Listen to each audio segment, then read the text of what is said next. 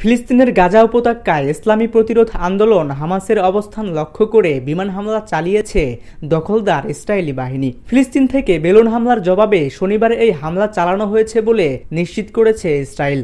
তবে হামলার ঘটনায় এখনও জানা যায়নি কোনো হতাহত বা ক্ষয়ক্ষতির পরিমাণ। হামলার বিষয়ে ইসরায়েলি বাহিনীর পক্ষ থেকে বলা হয়েছে, গাজার যেখান থেকে হামাস রকেট হামলা চালায় সেখানে এবং তাদের একটি ভবনে চালানো হয়েছে বিমান হামলা।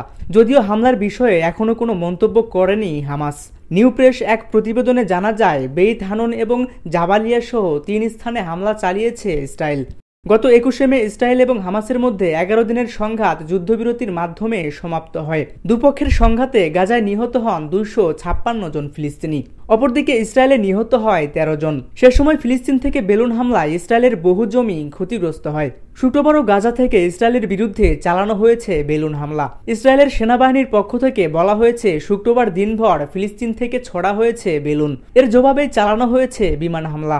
এর আগে গাজায় নির্বিচারে বিমান হামলা চালানো ইসরায়েলের বিরুদ্ধে যুদ্ধাপরাধের অভিযোগ আনে আন্তর্জাতিক মানবাধিকার সংস্থা হিউম্যান রাইটস ওয়াচ।